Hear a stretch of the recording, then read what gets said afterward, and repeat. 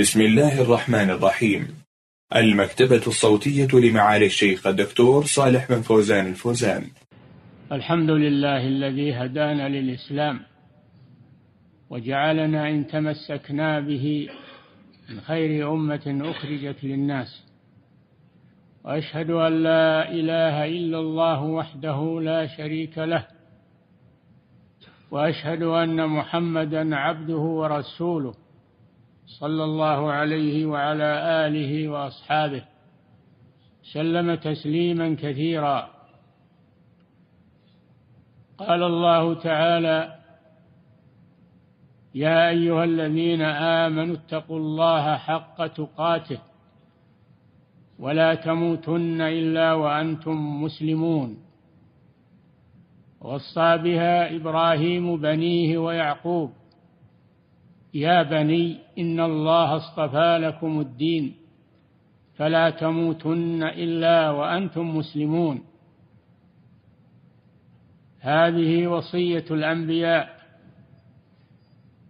لأممهم ولأولادهم وذرياتهم. تمسك بالإسلام مهما كلفهم الأمر ومهما اشتد بهم البلاء والخطوب.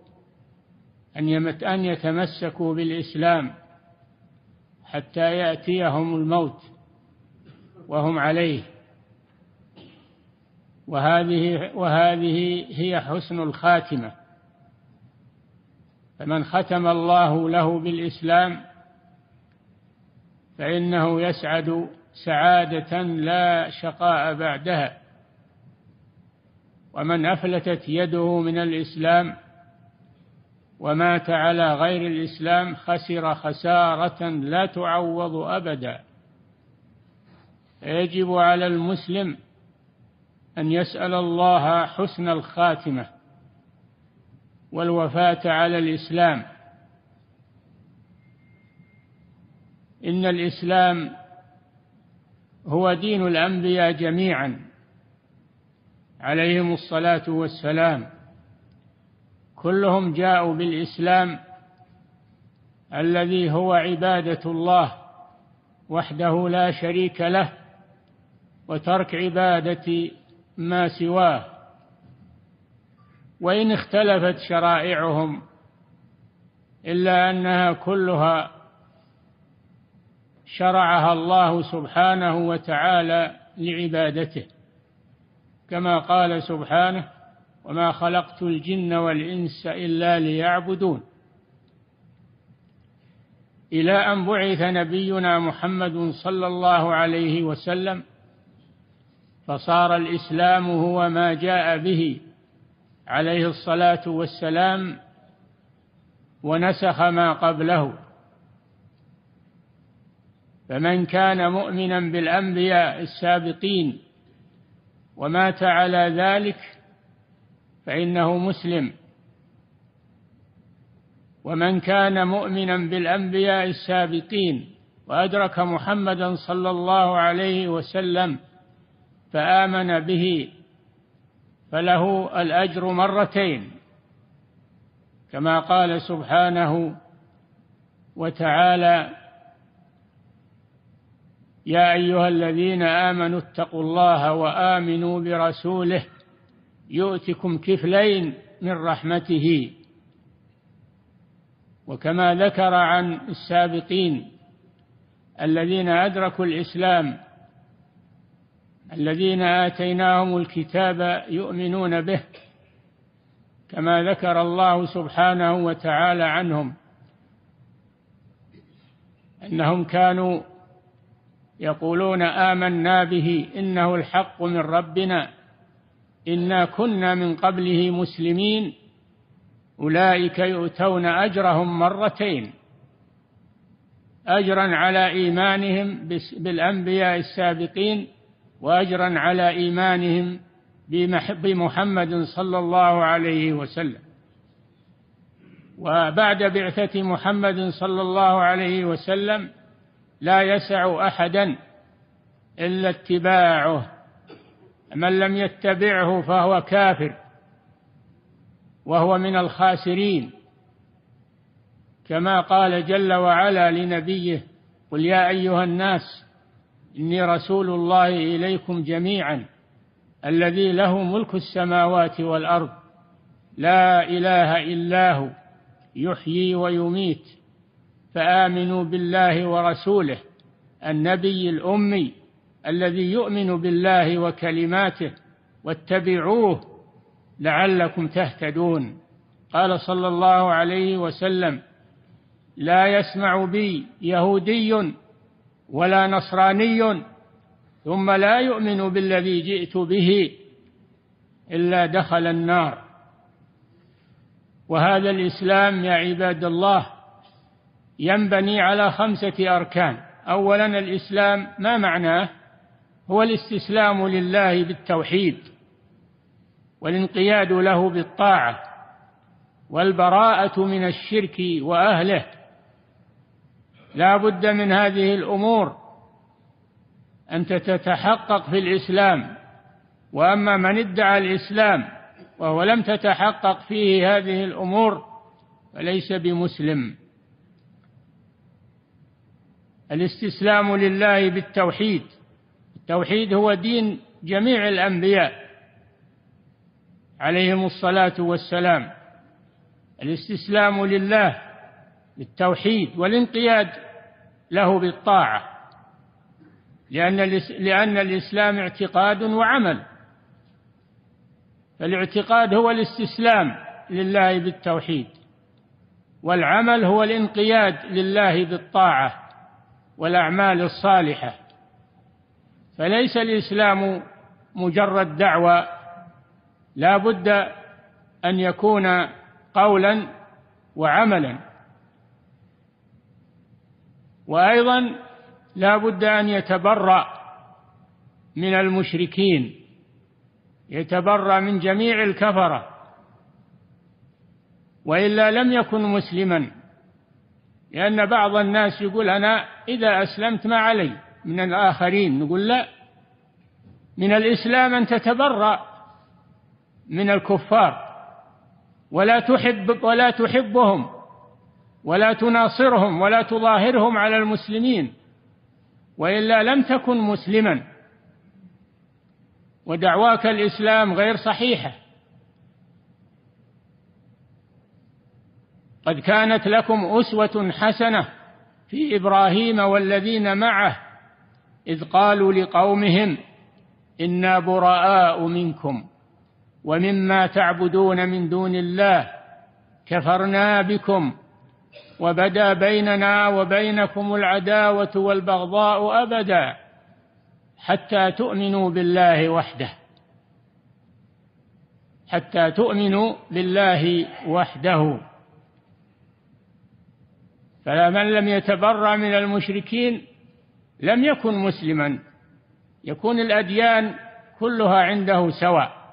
كما يقولون الآن حرية الأديان حرية الاعتقاد كل له دينه. لا يجوز هذا. لا بد أن تتبرأ من المشركين. حتى ولو كانوا أقرب الناس إليك. لا تجد قوما يؤمنون بالله واليوم الآخر.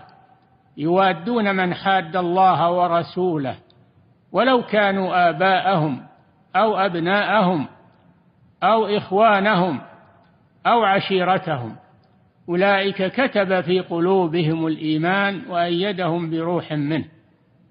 هذا هو الإسلام.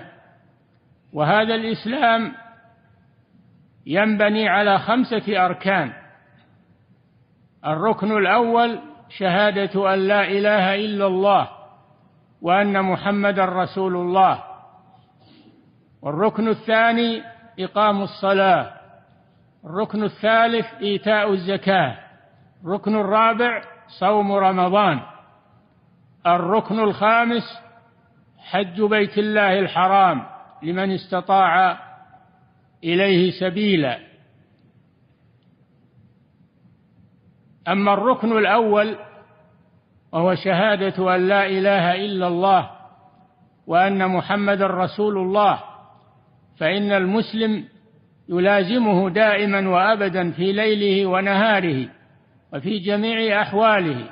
يلازم الإسلام يشهد أن لا إله إلا الله وأن محمد رسول الله سواء بالنطق باللسان أو بالاعتقاد بالقلب. يكون على هاتين الشهادتين دائما وأبدا لا يتخلى عنهما أبدا مهما كلفه الأمر. والركن الثاني يتكرر على المسلم خمس مرات في اليوم والليلة وهو الصلوات الخمس. والركن الثالث والرابع يتكرر على المسلم كل سنة وهو الزكاة وصيام رمضان. والركن الخامس مرة في العمر على المستطيع وما زاد فهو تطوع. فالمسلم يلازم الإسلام دائما وأبدا ولا يتخلى عنه مهما كلفه الأمر. قد يبتلى الإنسان قد يتسلط عليه الكفار يريدون أن يرتد عن الإسلام ولا يزالون يقاتلونكم حتى يردوكم عن دينكم إن استطاعوا. هذا شأن الكفار. وها هم الآن ماذا يفعلون بالمسلمين؟ يريدون أن يتخلوا عن الإسلام وأن يتبعوا دين الكفار. فلا بد أن المسلم يوطن نفسه على أنه لن يتخلى عن هذا الدين مهما كلفه الأمر حتى ولو قتل. قال صلى الله عليه وسلم لا تشرك بالله شيئا وإن قتلت أو حرقت فالمسلم لا يتخلى عن الإسلام مهما كلفه الأمر ولا يستسلم للعدو ولكنه يسأل الله السلامة من الفتن ويبتعد عنها ويحذر منها ولا ينخدع بالدعايات الباطلة ولا ينخدع بما ينشر اليوم في وسائل الاتصال الاجتماعي من التشكيك في الإسلام. ومن تهديد المسلمين من قبل الأعداء وأتباع الأعداء ومن المنافقين أنكم لا بد أن تتخلوا عن هذا الدين وإلا سيحل بكم كذا وكذا. كونوا مع الناس اتركوا دينكم. المسلم لا يرخص عليه دينه لأنه هو نجاته. إذا ضيعه ضاع. وخسر الدنيا والآخرة وإذا تمسك به وصبر عليه فإنه يسعد في الدنيا والآخرة والأمد قصير والدنيا متاع الإنسان يصبر على دينه ولا يزهد فيه مهما كلفه الأمر ولا يساوم عليه ولا يتنازل عن شيء من دينه أبدا خصوصا في أيام الفتن والشرور. وعلى المسلم أن يعرف ما هو الإسلام تعلم دينه حتى يعرفه ويتمسك به ويعرف ما يضاده وما يناقضه من نواقض الإسلام. لا بد أن يتعلمها يتعلم أولا ما هو الإسلام وما هي أركانه وما هي مكملاته ثم يعرف ما هي نواقض الإسلام. لا بد أن يتعلم الإنسان أمر دينه حتى يتمسك به ويحذر مما سواه ولا تزهده الدعايات الباطلة والأفكار المضللة وما أكثرها اليوم. اليوم نحتاج إلى الصبر أكثر من ذي قبل. نحتاج إلى تعلم أمور ديننا أكثر من ذي قبل لأن الفتن اشتدت. ولا يصبر على دينه إلا من وفقه الله وعرف دين الحق وصبر عليه. قال الله سبحانه وتعالى بسم الله الرحمن الرحيم والعصر إن الإنسان لفي خسر إلا الذين آمنوا. وعملوا الصالحات وتواصوا بالحق وتواصوا بالصبر. لا بد من الصبر على المحنة وعلى الأذى وعلى المشاق والفرج قريب إذا تمسك به. أم حسبتم أن تدخلوا الجنة ولما يعلم الله الذين جاهدوا منكم ويعلم الصابرين فلا بد أن يأتي عليك ابتلاء وامتحان على قدر دينك. فإن صبرت وتمسكت بدينك فإنك تخرج إلى الآخرة وأنت من المفلحين. وإن وإن فرطت في دينك وضيعته ولم تصبر على الأذى خرجت إلى الخسار الذي لا يعوض. إن الإنسان لفي خسر. ما له نهاية. إلا من تمسك بهذه الأربع.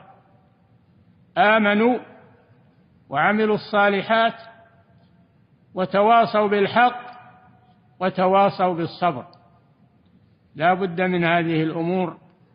حتى تسلم من هذه الخسارة المحققة إلا من رحم الله سبحانه وتعالى.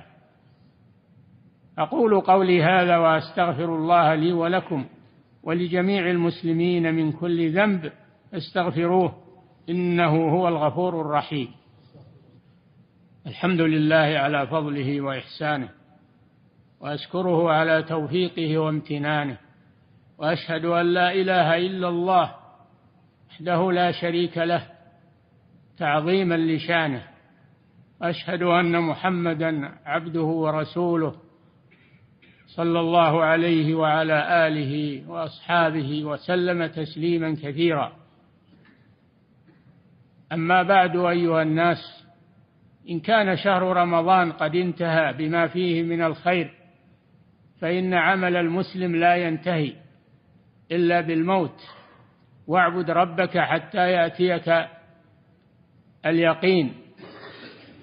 ومن فضله سبحانه أنه أتبع شهر رمضان بأشهر الحج إلى بيت الله الحرام. الحج أشهر معلومات وهي شوال وذو القعدة وذو الحجة شوال وذو القعدة وعشر من ذي الحجة. هذه أشهر الحج. أعقب الله بها شهر رمضان فالخير متواصل من الله سبحانه وتعالى. وهذه الأشهر فيها عشر ذي الحجة. ما من أيام العمل خير وأحب إلى الله من هذه العشر يعني عشر ذي الحجة. وفيها اليوم التاسع وهو يوم عرفة الذي هو أشرف الأيام وخير الدعاء دعاء عرفة. وفيها يوم الحج الأكبر وهو اليوم العاشر من ذي الحجة. ففيها خيرات وبركات فالخير من الله متوالي ومتواصل. لمن وفقه الله سبحانه وتنبه لذلك. ثم رحمكم الله أن خير الحديث كتاب الله وخير الهدي هدي محمد صلى الله عليه وسلم وشر الأمور محدثاتها وكل بدعة ضلالة. وعليكم بالجماعة فإن يد الله على الجماعة ومن شذ شذ في النار. إن الله وملائكته يصلون على النبي. يا أيها الذين آمنوا صلوا عليه وسلموا تسليما. اللهم صل وسلم وبارك على عبدك ورسولك نبينا محمد. وارض اللهم عن خلفائه الراشدين الأئمة المهديين أبي بكر وعمر وعثمان وعلي وعن الصحابة أجمعين وعن التابعين ومن تبعهم بإحسان ومن تبعهم بإحسان إلى يوم الدين. اللهم أعز الإسلام والمسلمين وأذل الشرك والمشركين ودمر أعداء الدين. واجعل هذا البلد آمنا. واجعل هذا البلد آمنا وسائر بلاد المسلمين عامة يا رب العالمين. اللهم انصر دينك. اللهم انصر دينك وكتابك. وسنة نبيك وعبادك المؤمنين. اللهم من أراد الإسلام والمسلمين بسوء فأشغله بنفسه. واردد كيده في نحره.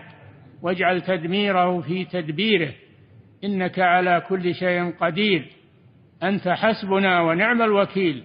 اللهم كف عنا بأس الذين كفروا. فأنت أشد بأسا وأشد تنكيلا. اللهم احفظ هذه البلاد. بلاد الحرمين الشريفين. اللهم احفظ هذه البلاد. اللهم احفظ هذه البلاد خاصة. واحفظ بلاد المسلمين عامة. يا رب العالمين.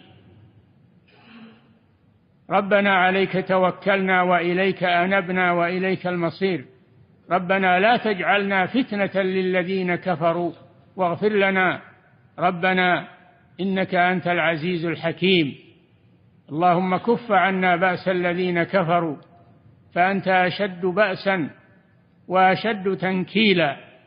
اللهم ادفع عنا الغلا والوبا والربا والزنا والزلازل والمحن وسوء الفتن ما ظهر منها وما بطن عن بلدنا هذا خاصة وعن بلاد المسلمين عامة يا رب العالمين. ربنا تقبل منا إنك أنت السميع العليم. اللهم أصلح ولاة أمورنا واجعلهم هداة مهتدين غير ضالين ولا مضلين. اللهم أصلح شأنهم. اللهم وفقهم لما فيه صلاحهم وصلاح الإسلام والمسلمين. اللهم أعنهم. اللهم أعنهم بنصرك وتوفيقك وتسديدك يا رب العالمين. اللهم احفظ بهم أمننا وإيماننا واستقرارنا في أوطاننا. ولا تسلط علينا بذنوبنا من لا يخافك ولا يرحمنا. وقنا شر الفتن ما ظهر منها وما بطن. ربنا تقبل منا إنك أنت السميع العليم. عباد الله إن الله يأمر بالعدل والإحسان وإيتاء ذي القربى وينهى عن الفحشاء والمنكر. والبغي يعظكم لعلكم تذكرون. وأوفوا بعهد الله إذا عاهدتم ولا تنقضوا الأيمان بعد توكيدها. قد جعلتم الله عليكم كفيلا إن الله يعلم ما تفعلون. فاذكروا الله يذكركم واشكروه على نعمه يزدكم. ولذكر الله أكبر والله يعلم